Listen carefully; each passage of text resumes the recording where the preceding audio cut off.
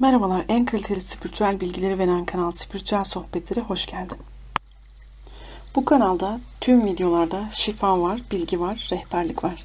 Dolayısıyla kulaklarını tak, ne iş yaparsan yap, aç dinle. Ne kadar güzel. Şimdi bu sohbetimizde ne anlatacağım? Tutkulu aşk güçlendirmesi diye bir uyumlama var. Anlatmazsam olmaz diyebileceğim kadar güzel ya da anlatmazsam hakkı yenilir diyebileceğim kadar güzel bir uyumlama. Bu ne? İlişkisinde tutku eksik olanlar için çok ideal bir uyumlama. Tutkulu aşk güçlendirmesinin özelliğini şöyle açıklayayım. Diyelim evlilik ya da ilişkin rutine bağladı. Monoton. Artık sana tat vermiyor.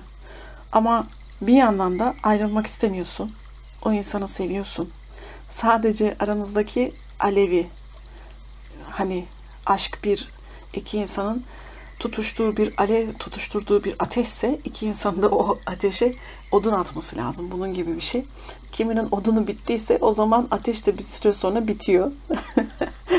Ama insan da hayatında tutku eksikliği de yaşayabiliyor. Olabilir. İnsan hali normal. Yani normal bunlar. Yadırgamamak lazım. Aa, olur mu öyle şey de dememek lazım. Çünkü normal yani doğamızda böyle bir şey var. İşte bu noktada hayal ötesi bir uyumlama size tutku aşk güçlendirmesi. Dizlerinin bağı çözülecek ve tutku ve aşk hissedeceksin. Size bayılacağınız bir şey söyleyeceğim. Bu uyumlamaya inisiye olduğunda, aktif ettiğinde partnerinin, sevgilinin, eşinin sana aşık olmasını istediğiniz kişinin, kocanın adını söylediğinde tutkuyla peşinden koşacak. Bu nasıl oldu? Do- dosyada yazıyor. Onun dosyasında. Bu evrenden sonra, e, bu evreden sonra, bu zamandan sonra ister bırakın koşsun ya da bırakın yakalasın sizi. Tutkusuz yapamam diyenler için ama hayatında tutkuyu henüz bulamamış olanlar için ideal. Neyle bulacak? Tutku aşk güçlendirmesiyle bulacak. Tek seviyeli tutkulu aşk güçlendirmesiyle hem başkalarına şifa yapabilirsin hem de uyumlama yapabilirsin. Nasıl şifa yapabilirsin? Bir arkadaşının böyle bir problemi var diyelim ki. Sen bunu uyumlandın. Ona şifa yapabilirsin ve arkadaşın da hayatında tutkulu bir aşkı yakalamasını imkan sağlayabilirsin. Ya hani aşk gelsin de tutkulu olmasa da olur diyenlerden sen bu uyumlama sana göre uygun değil. Ya da benim hayatımda hiç tutkuya gerek yok. Ben onu mu eledim, eleğimi astım. E, ruhumu zaten teslim etmek üzereyim. Neredeyse tutku neredeymiş? Neymiş o? Diyen bir teyzecik modundaysan o zaman sana da gerek yok. Ama tutkuyu çok seven kadınlar ve erkekler var. Tutkuyu gözün döndüren, gerçekten aşka aşık olan insanlar var. Aşkla birlikte yaşayan, aşk şiirleriyle, aşk filmleriyle, aşktan ilham alan, yani gerçekten aşkla beslenen ve enerji veren, hani aşk enerji verir ya insana. Dolayısıyla böyle bir insansan, mesela aşk olur hayatında ama tutku olmaz. Ne yapacaksın? Çok üzücü, çok üzücü. Çok berbat bir durum. Bak ben sana başka bir şey anlatayım. Hangi durumlar için gerekli? Benim bir danışanım var. Çok tatlı bir kız. 16 yıllık evliymiş. Bebekleri olmamış. Ama hani burada sohbet ediyoruz. Adamın o taraflarda pek bezi yok. Tamam. Kadın ne yaparsa yapsın hiçbir şey olmuyor yani anladın sen beni. Ondan sonra tutkulu aşk güçlendirmesini al dedim. Yani eşinle aran düş, düzelir.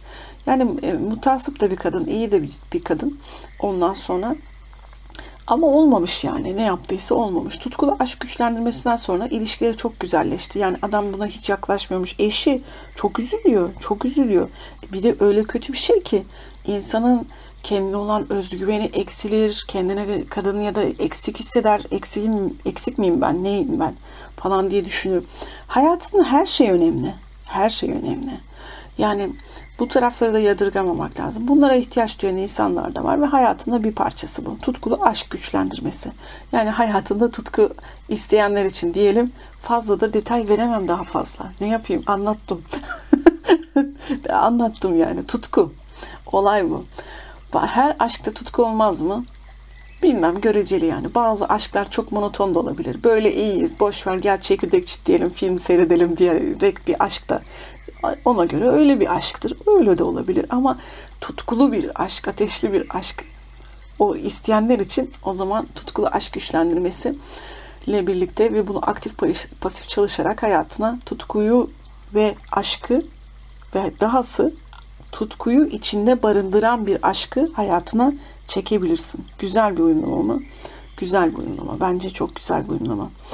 Bu böyle bir anlatım olsun, kısa olsun. Bunların her biri spiritüel mevzular. Bunların her biri enerjinin değişik versiyonları.